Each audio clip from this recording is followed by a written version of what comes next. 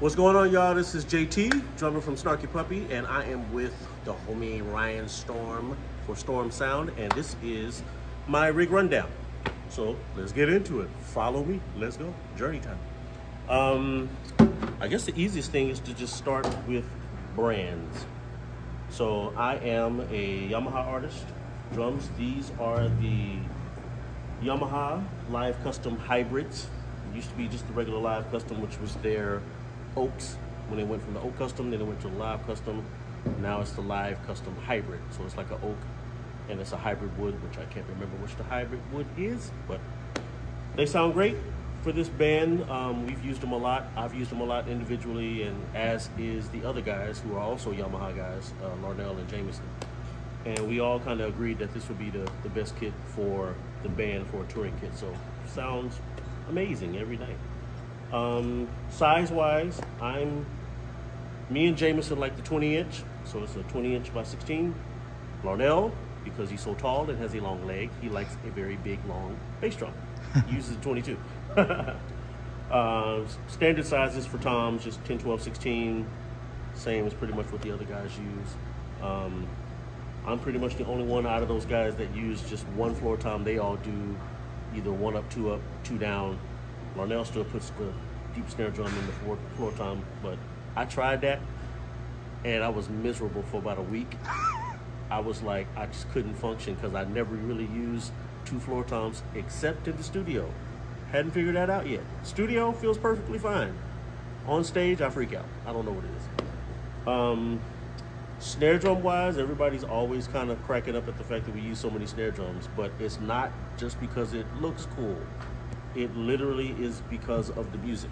Um, it's been a two snare band even back when Sput. Sput was kind of the one that kind of started that with the deep snare. As far as in this band, how ridiculously deep it is to the fact that we use a kick drum mic on the deep snare. That was something that they was doing back when Sput was in the band. And then when we got around to Culcha Vulcha, we started because it was three drummers on that record as well. A lot of people didn't know that. It's three drummers on that record, but it's only two of us at a time. But Sput started changing the setup on like every song he played, he switched drums, including snare drums. It was ridiculous. So there was a couple of songs where he had a really, really tiny snare drum. If you see his videos, he loves his little cocktail kit. And he used that snare drum on a song. So when we started going out, I started trying to incorporate the third, third snare drum for that song and a couple of other songs. But when we got to Immigrance, and it was all three of us, me, Jamison, and Larnell, on every song, that's where the third snare drum became a requirement because three drummers were all using multiple snare drums each just to cover the parts is why we have three now. So it's still the standard main snare, as you would say medium. So like low, medium, high is basically what we think of it is. But it serves a purpose and every song that we have, there's a reason for all three snare drums. So snare drum wise, I'm rocking the, the Live Oak Custom Hybrid snare. This is the Yamaha Recording Custom stainless steel 14 by 7 and this is is is old oldie but goodie this is our old standby um, this is the old Japan shells uh, brass but it's the you can tell by the old lugs because we don't make these anymore this is an old Japan brass snare drum and I believe it's a 4 by 14 maybe four and a half by 14 but I think it's a 4 so heads wise I'm an Evans guy love them great choices I have an assortment of different Evans heads on all these drums. Um, cymbals wise, I'm a Meinl guy, love them as well.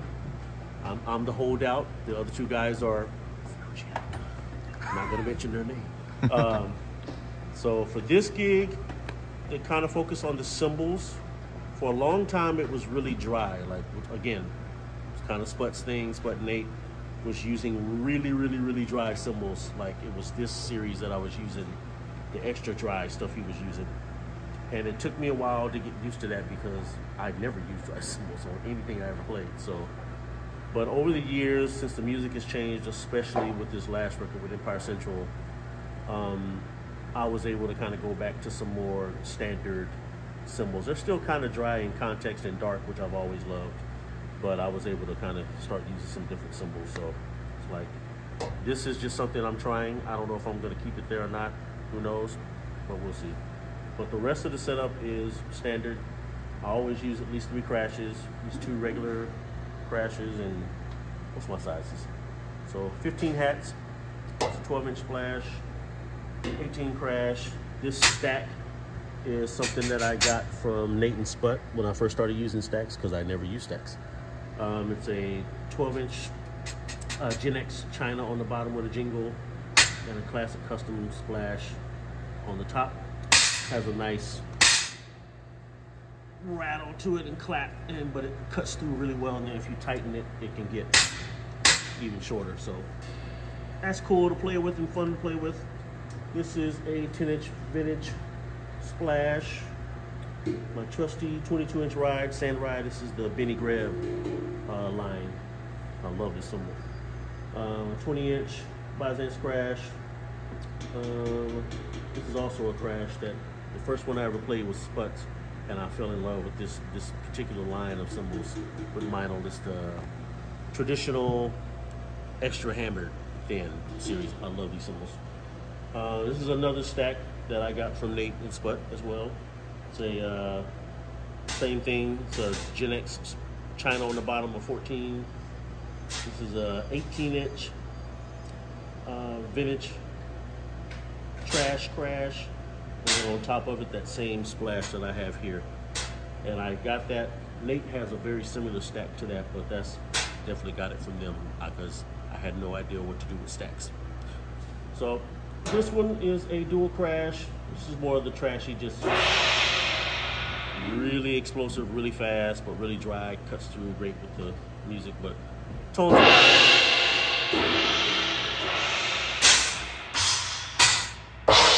Just as many different sounds as possible. I always like to have different options sonically, even in the cymbal range. So Meinl always hooks me up and takes care of me. Love it.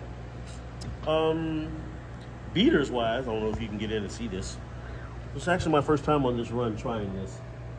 I've been using a company called Lowboy uh, beaters for a long time, but if you can see, that's the one with the leather instead of the felt.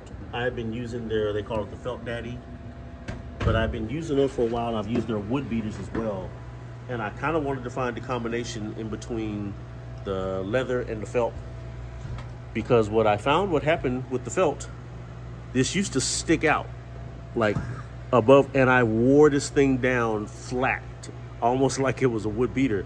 But it actually, I'm glad I did that because I actually love this beater now because it's just enough felt on it that it's in between that and a wood beater. But I saw them come out with, I guess a couple of years ago, they had a leather front for this, and I was like, that would probably be even better you know, combination in between the two. So I'm trying that leather daddy out for the first time and I absolutely love it. I recommend you try it out if you kind of like wood beaters, but you want to find it in between felt and wood, try these, um, try the leather daddy.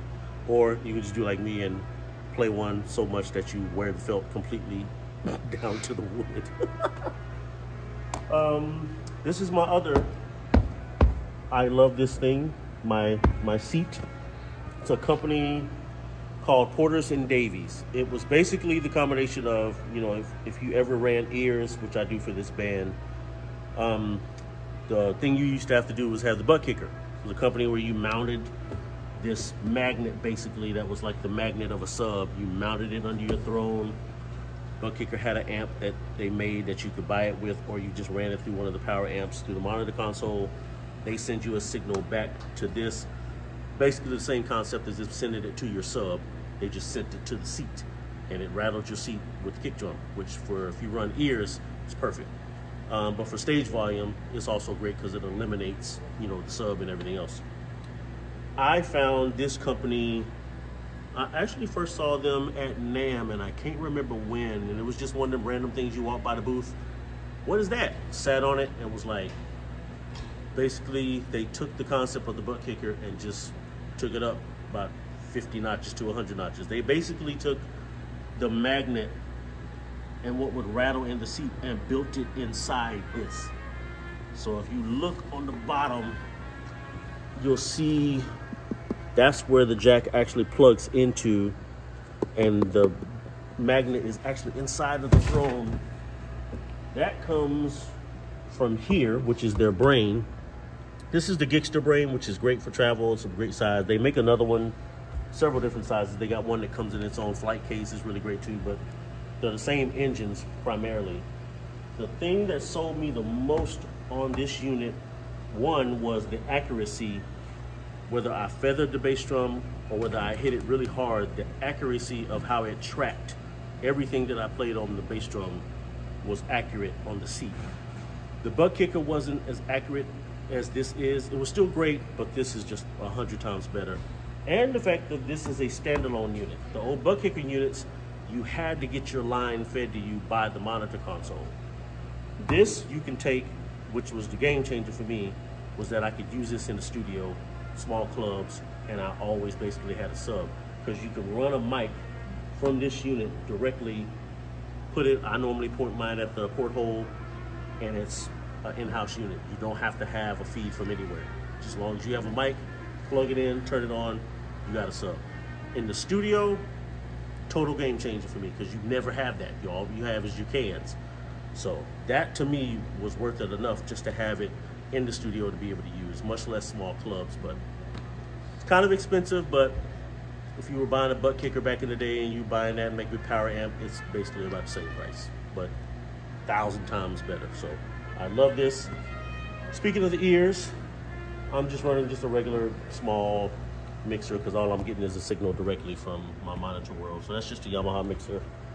And I started running ears with this band because I found myself, I've never liked loud stuff in my ears. So even when I had a monitor and a sub, traditionally, I was always wearing earplugs, mainly because of the cymbal sounds and because by the time I got my monitor to where I could hear everybody, and in these big ambient rooms, it was just so loud I couldn't hear any clarity of the band, especially from like bass, horn players when they play real soft at the soloing. I couldn't hear anything. So I was like, I'm already wearing earplugs all the time and I started wearing ears with other bands, with cover bands and other pop guys I was touring with. So I was like, I might as well start wearing them with this band. And that's basically what I did. And it cleared up everything.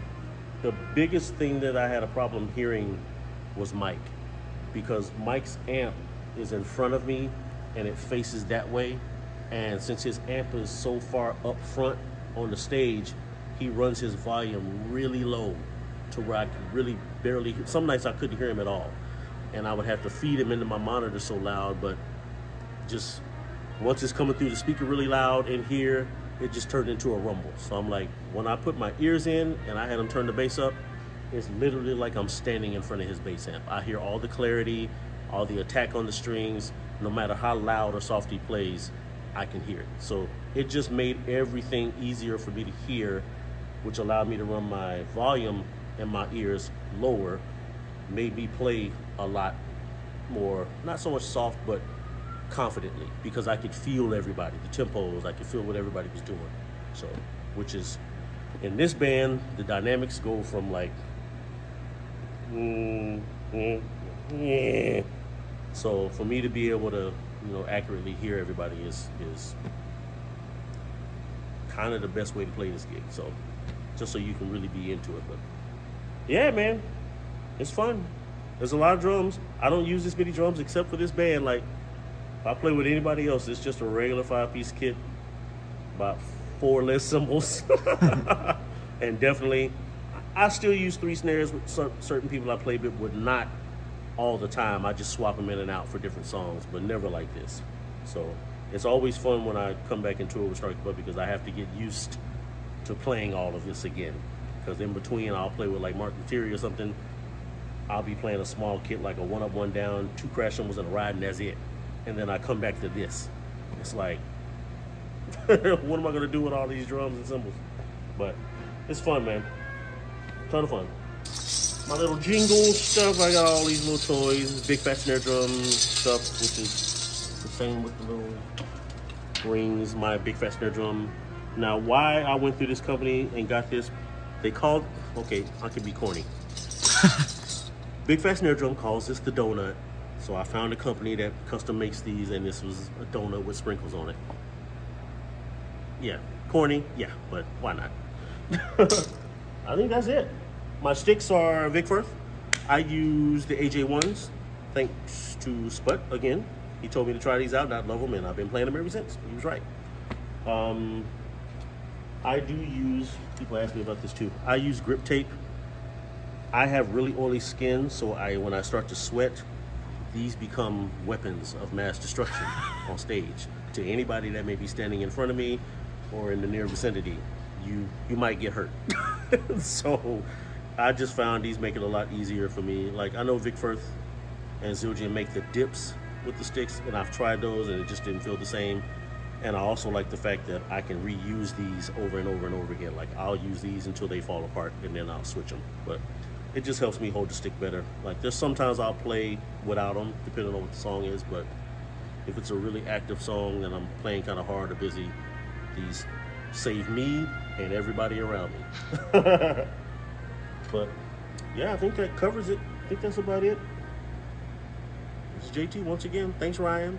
Thanks Storm Music see you guys out on tour. We'll be out to the end of the month, I think. So catch you in a city near you. Bless you. God bless you. Thank you. See ya.